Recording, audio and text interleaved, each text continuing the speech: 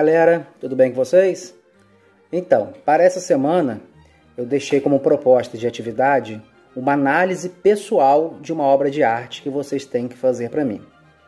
Então, aí vocês podem me perguntar como fazer esta análise. Eu vou passar para vocês alguns pontos que vocês devem seguir na observação de uma obra para vocês conseguirem fazer esta leitura. Certo? Fazer a leitura de uma obra de arte é como se você estivesse lendo um livro, lendo um texto de um livro e que você estivesse a interpretar. É a mesma coisa.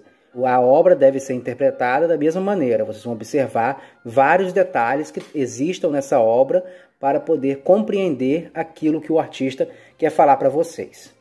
Ok? A arte, de vez em quando, pode ser considerada uma coisa chata, assim como um livro pode ser considerado chato se vocês não tiverem a devida compreensão do que aquela obra, aquela obra de arte está querendo passar para vocês.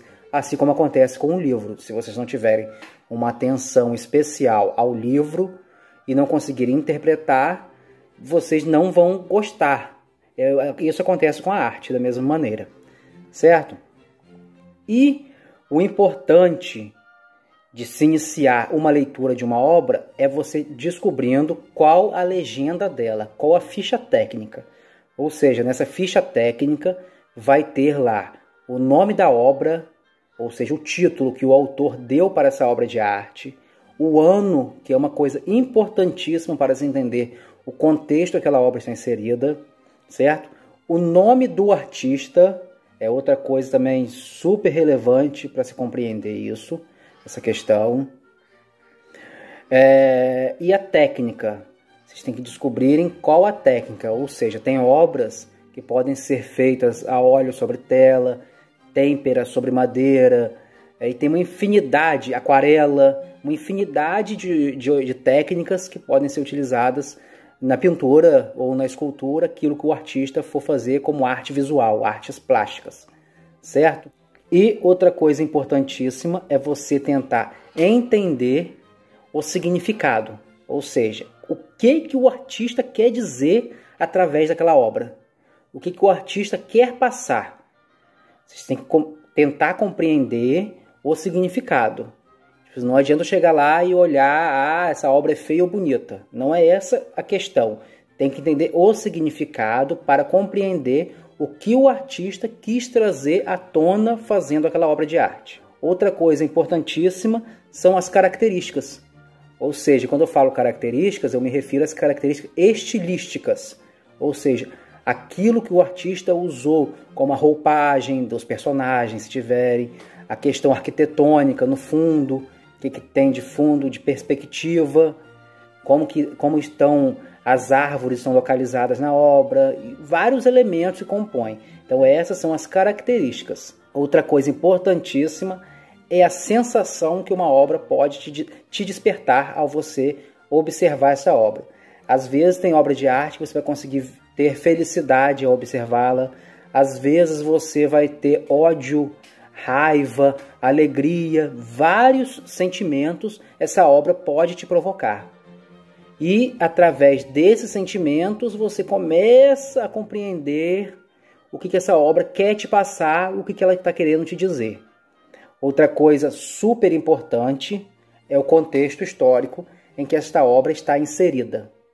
Porque às vezes a obra pode ter um cunho crítico, pode ter um cunho político, social, ou pode ser também uma obra encomendada por alguém de um autorretrato, por exemplo, isso era muito comum no século XIX ou no século XVIII, porque até então não existia fotografia, então as pessoas se utilizavam dos artistas para reproduzirem né, os seus autorretratos e colocarem nas suas salas e assim por diante, por não existir a fotografia.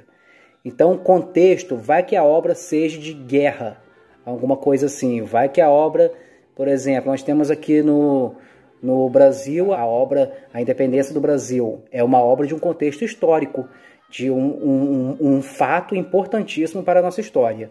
Então, todos esses pontos que eu falei para vocês é preciso analisar antes de vocês colocarem no papel. Depois de vocês terem a noção exatamente do que essa obra quer dizer, vocês vão passar para o papel. Pessoal, a obra que eu escolhi para vocês é uma obra chamada Narciso, de um artista chamado Caravaggio. Caravaggio foi um artista italiano que viveu no final do século XVI. Ele era chamado Michelangelo Caravaggio, sendo que não é o mesmo Michelangelo que pintou a Capela Sistina. Então a gente tem que tomar cuidado para não acabar confundindo os dois artistas. Esse Michelangelo Caravaggio foi um artista que, que pendia mais para o barroco, enquanto o outro Michelangelo, né, ele era renascentista. Então temos que tomar cuidado para não confundir os artistas por causa do nome. Ele foi um dos maiores artistas italianos, é considerado assim. E ele possuía uma personalidade muito forte e às vezes tinha um estilo muito extravagante. Ele chocou grande parte da sociedade da época com as suas obras, tanto pela técnica usada quanto pelas pessoas que ele retratava. Então, ele era um artista de característica muito peculiar. As obras dele eram obras que tinham um fundo muito escuro e a luminosidade era sempre voltada para os personagens que ele queria destacar. Então, ele é um artista muito importante para ser estudado. E então vamos usar a obra dele, né, a obra Narciso, para fazer a nossa análise pessoal e tentar buscar, né, trazer à tona, através daquilo que vocês imaginam, que vocês pensam, trazer à tona o que esse artista quis dizer através dessa grande obra de arte que ele deixou como legado para nós.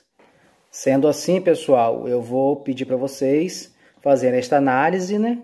Como eu já falei no início, e esta análise deve ser uma análise bem feita. Então não deixem de fazer, façam com atenção, observem bem a obra. Eu também já deixei para vocês disponibilizado a foto da obra na nossa plataforma digital e também a nossa entrega vai ser na segunda-feira até a meia-noite.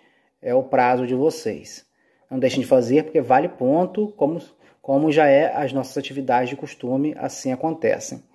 É, outra coisa importante é que essa análise tenha no mínimo cinco linhas, que já é o suficiente para vocês passarem é, o que vocês estão percebendo, observando na obra de arte proposta. Tá certo?